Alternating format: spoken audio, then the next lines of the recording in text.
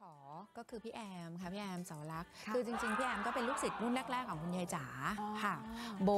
สุนิตาพี่โบสุนิตา อันนี้สายบุญเหมือนกันค่ะปานธนพรนี่ไม่ต้องห่วงตอนนี้สร้างวัดอยู่สร้างวัดเลยพี่ปานนี้เคยมาเป็นแขกรับเชิญในรายการเราใช่เขาก็มาบอกบุญเป็นสะพานบุญแบบนี้เหมือนกันใช่แล้วพี่ปานบอกด้วยนะ บอกว่าชีวิตหลังจากนี้คือพี่อุทิศให้กับงานบุญเรียบร้อยแล้วใช่ใช่คือจริงๆอะเราก็อยากให้ปานมาช่วยโปรโมทคอนเสิร์ตแต่ปานบอกว่าพี่จ๋าหนูอยู่วัดเราก็โอเคงั้นเดี๋ยวพี่มาแทนให้เพราะว่าจริงๆอะคอนเสิร์ตเนี่ยจะไม่ได้ร้อง จะเป็นค่ะแค่อะรวบรวมคนแล้วมาช่วยกันค่ะทำงานให้คุณยายจ๋าเป็นนางงามอีกสองคนก็คือแอนทิติมาแล้วก็น้องอิน ค่ะตอนติดต่อกันไปตอนแรกเนี่ยเพื่อนๆสายบุญของเราตอบรับกันรวดเร็วไหมคะ say yes ทันทีโอ้แล้วก็บอกว่าไม่ไม่คิดเลยเราเนอะไม่มีค่าตัวนะ เราไม่มีอีเวนต์ค่าน้ำมันให้นะ ตัวเองเราจะเอาเงินทั้งหมดเนี่ยค่ะเอาเรี่ยวแรงทั้งหมดเราช่วยคุณยายจ๋าทำบุญคือแน่นอนว่าคือคุณผู้ชมถ้าเกิดว่าซื้อบัตรคอนเสิร์ตในครั้งนี้ไปทุกบาททุกสตางค์ใช่ค่ะ ให้หมดเลย ใช่ค่ะใช่ไม่มีการหักหักหลังจากหักค่าใช้จ่ายแล้วไม่มีไม่ใช่ค่ะคือทั้งหมดทั้งหมดทั้งมวลอันเนี้ยคือถึงเจี๊ยบถึงอยากชวนมา เพราะว่ามันเหมือนเป็นการหล่อพระทำบุญค่ะแล้วก็มีเพลงฟังค่ะที่บอกว่าจะนำไปสร้างพระอารยะ ตามมหาโพธิสัตว์ค่ะเขาบอกว่าเป็นพระที่เกี่ยวเนื่องกับเรื่องของการขจัดความกลัวออกไปใช่ไหมคะใช่ค่ะหลักๆ ก็คือท่านเป็นพระโพธิสัตว์สายผู้หญิงแหละถ้าเราเอาแบบเข้าใจง่ายๆนะค่ะจริงๆอะจะลึกซึ้งกว่านี้ถ้าได้ฟังคุณยายจ๋าแต่ว่าเจี๊ยบสรุปมาให้ง่าย ๆ ก็คือว่าเป็นพระอริยตาลาเนี่ยเป็นเป็นพระโพธิสัตว์สำหรับผู้หญิงค่ะประวารณาตนว่าจะอ่า บรรลุธรรมในเพศสภาพผู้หญิง ไม่ละทิ้งความเป็นแม่ค่ะเป็นอย่างนี้หรือเปล่า เพราะว่าคอนเสิร์ตครั้งนี้ก็เลยมีแต่สาวผู้หญิงๆอันนี้ก็คือความตั้งใจก็คือซับเทคนิดหน่อยที่ซ่อนไว้ก็คือต้องเป็นตัวแม่แห่งวงการนี่ไงแล้วก็ตัวแม่นั้นเลยนะคะใช่ค่ะรายชื่อที่แม่ในแม่แม่ในแม่ เออเนี่ยเพลงต่างๆ ที่เราจะได้ฟังในคอนเสิร์ตนี้จะแนวไหนยังไงคะเพลงเพราะเพลงคิดบอก เหมือนเดิมที่เราคิดถึงใช่ไหมบอกคุณผู้ชมเลยค่ะว่า ไม่ต้องคิดว่าจะมานั่งพับเพียบ แล้วก็มานั่งฟังเพลงจะกันนะซึ้งคะอย่างเดียวปาดน้ำตาไม่อย่างเดียวใช่ค่ะหรอเราจะมีการลุกขึ้นเต้นลุกขึ้นกระโดดเป็นเหมือนคอนเสิร์ตธรรมดาเลยค่ะอ๋อเขาเรียกว่าเหมือนงานเฉลิมฉลองที่เราจะได้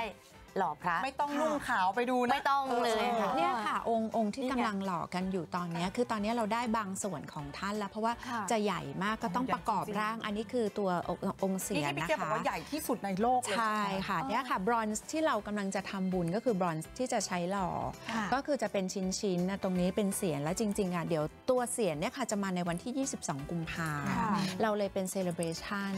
แล้วก็เป็นคอนเสิร์ตแห่งการหลุดพ้น คือพระอริยตาราพยายามจะบอกผู้หญิงว่าเมื่อเราปราศจากความกลัวเราก็จะหลุดพ้นจากทุกอย่างเจี๊ยบคะความเสื่อมเนอะความใช่ค่ะคืบหน้าในการก่อสร้างเนี่ยกี่เปอร์เซ็นต์แล้วคะอาตอนนี้จริง ๆ ค่อย ๆทำค่ะ ค่อย ๆ ไป เพราะว่าจริง ๆ แล้วองค์ใหญ่มากคุณคุณยายจ๋าก็ตั้งเป้าไว้ว่าน่าจะเป็นปี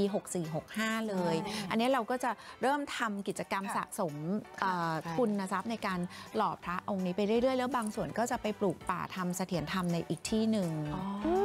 คือแต่ทั้งหมดทั้งมวลนี่แหละเอาไปทำบุญด้วยใช่นะคะคุณผู้ชมก็จะได้ฟังเพลงเพราะๆพี่อินพี่อินในงานจ้าอะจ้าจ้ามันมันจะมีเซอร์ไพรส์เซอร์ไพรส์อะไรอย่างนี้ให้เราได้แบบได้ว้าวว้าวกันไหมก็น่าจะเป็นเรื่องของเพลงค่ะอินว่าอืมเพราะว่า แสดงดนตรีใน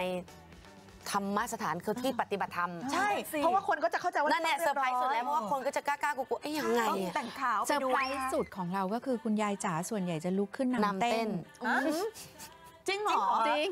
เราอันนี้เซอร์ไพรส์จริงคุณผู้ชมเออปกติเนี่ยเราเนี่ยจะเห็นคุณยายจ๋าแบบพูดจานิ่มใช่ๆหวานๆช้าๆเนี่ยคุณยายจ๋าชอบบอกว่าเนี่ยคนชอบเข้าใจว่าการมีธรรมะในจิตใจการมีสติเนี่ยจะต้องนิ่งซึมอ่าจริง ๆ เราจิตเบิกบานได้เมื่อเราแบบมีสติ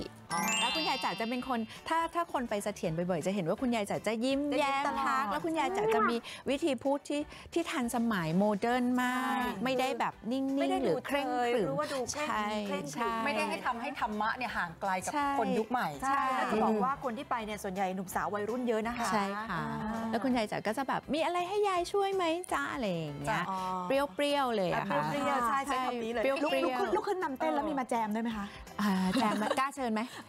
ฮะกล้าหนูว่ากล้าอยู่แล้ว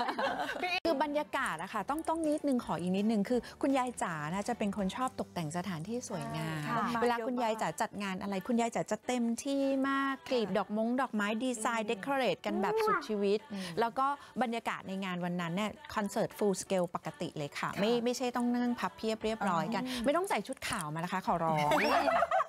เดี๋ยวจะแยกกันไม่ออกนะสีสันคคัลไหเลอร์จงฟูกรมกันอจัดๆเลยแม่ออจ๋าเพราะว่าคอนเสิร์ตครั้งนี้เราเซเลบรชันกันนะคะแล้วสนุกกันนะไม่ไม่ต้องมีตรงมีก็ตีเอาให้เต็มที่นะคุณผู้ชมนะวันอาทิตย์ใช่ที่ 23 กุมภาพันธ์นะจัดซื้อบัตรกันได้ตามที่พี่แจ้งรายละเอียดกันไปแล้วก็ขึ้นอยู่หน้าจอแล้วก็ขอเชิญนะคะ ร่วมกันทำบุญหล่อพระนะคะ แล้วก็มาฟังดนตรีเพราะๆจากนักร้องจากศิลปินทุกๆ คนที่ตั้งใจจะมอบเสียงเพลง